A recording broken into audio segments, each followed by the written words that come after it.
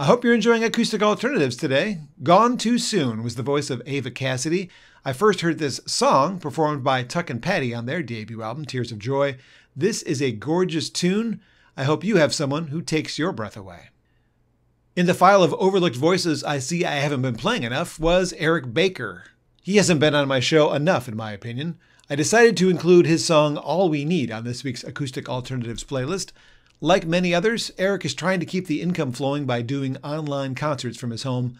Please support independent music and look for one of his shows or your favorite independent musician. While trying to expose you to excellent music you may not have heard before, I came up with Aztec Camera's Oblivious.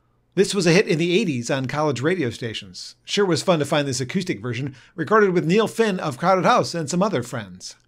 I'm a collector of music and a geek when an album I really like gets reissued with bonus tracks.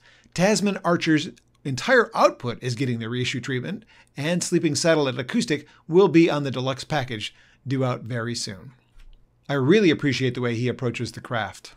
Quote, I was okay with you seeing other people until I saw other people seeing you. Oh my god, how has no one written that brilliant line before? Can't wait for the whole album due out this fall, I believe. The next two on the playlist are both called Little Lies.